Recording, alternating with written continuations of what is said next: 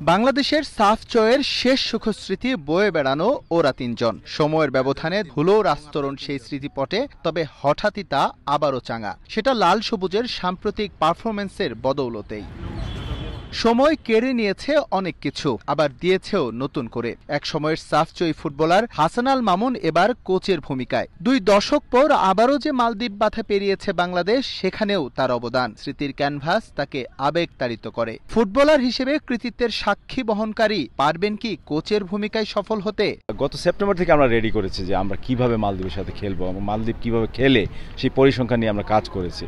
So আমরা ready ছিলাম এবং সেটার প্রতিফলন কালকে হয়েছে। দিন শেষে বাংলাদেশ জিতে এটা আমার কাছে সবসময় বড় ব্যাপার। সেটা ফাইনাল হোক আর গ্রুপ স্টেজই হোক।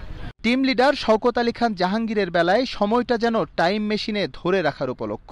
দুই হাজার তিনে তিনি ছিলেন টিম লিডার এবারও তাই। মালদ্বীপের বিপক্ষে বাংলাদেশের জয়টা তাকেও আত্মবিশ্বাসী করেছে। স্বপ্নের গালিচায় নতুন ফোড়নের অপেক্ষায় আছেন তিনিও। একটা ম্যাচ একটা ভিক্টরি অনেক কিছু দিতে পারে। আমরা আরও অনেক আগেই এটা ডিজার্ভ করতাম। অনেক ওয়েট করতে হয়েছে।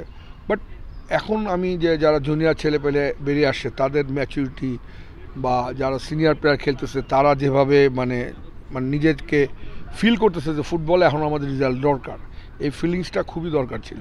মোহাম্মদ মহসিন যেন নিঃসঙ্গ শেরপা, গেল দুই দশকের বেশি সময় ধরে একই ভূমিকায় তিনি। বাংলার ফুটবলের একাল সেকাল দুটোই দেখা তার, ফুটবলটাই তার সব, পরম আপনজনদের কেউ গেল সাফে বাংলাদেশের ব্যর্থতায় হাও মাও করে কেঁদেছিলেন তিনি। নেট দুনিয়ায় সেটা ভাইরাল ছিল তখন। আর কত কষ্ট চেপে রাখা যায়। এক সময় তা ফুসে ওঠে আগ্নেয়গিরি হয়ে। আনন্দটাও ঠিক তেমনি মালদ্বীপ জয় তাকেও স্বস্তি দিয়েছে। তবে তিনি পরিপূর্ণ হতে চান চ্যাম্পিয়নশিপ দিয়ে। সবশেষ যা করে গিয়েছিলেন রজনী মামুনরা।